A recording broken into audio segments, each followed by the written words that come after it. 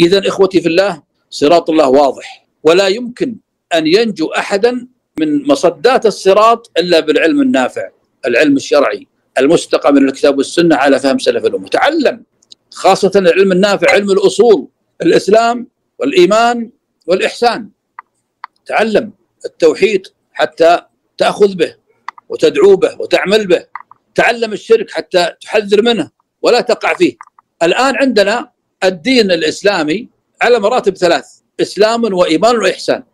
جمع حديث واحد حديث واحد حري بمن عكف على هذا الحديث وفقهه أن يفقه دينه كله. حديث عمر المعروف حديث جبريل في صحيح مسلم. في آخر جملة في الحديث هذا جبريل أتاكم إيش؟ يعلمكم دينكم. يقول ابن رجب الحنبلي في جامع العلوم والحكم وقال ذلك أيضا عنه ابن العثيمين في رياض الصالحين شرح رياض الصالحين والربع النووية قال ديننا في هذا الحديث. الدين كله في هذا الحديث. بعض الناس يروح يتخبط في كتب الفلسفة في كتب الثقافات ومدري وش دول ويترك هذا الحديث اللي جمع الإسلام والإيمان والإحسان والآخرة وعلامة الساعة. فلا بد من الفقه.